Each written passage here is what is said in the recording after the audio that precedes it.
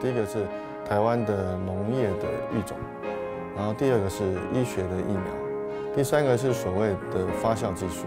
生技公司总经理面对镜头侃侃而谈，对未来的生技医学充满愿景，但公司内生产的保健食品现在竟然出了问题。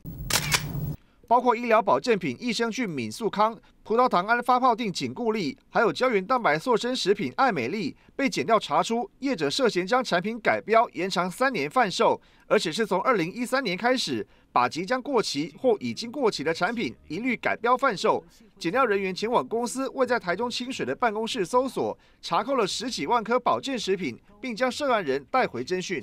确定有问题的部分，我们都已经扣押了。那他们发出去的部分？这个部分可能后续还要再清清查。这几样产品价格都在两三千元左右，并不便宜。听到又有黑心保健食品流窜，消费者忧心忡忡，欺骗消费者啊！然后其实是很黑心，就是没有把消费者摆在第一这样。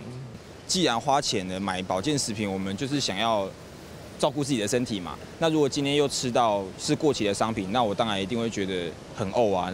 成立于二零零九年的景泽生技公司，以生产保健和营养补充品著称，近来还推出安心蔬菜和植物工厂。导入植物工厂，纯粹只是让消费者想要吃有机蔬菜，那我们干脆就自己进来。业者标榜公司由专业医疗人员创设，结合个人的专业领域，提供优良的产品跟更合理的价格。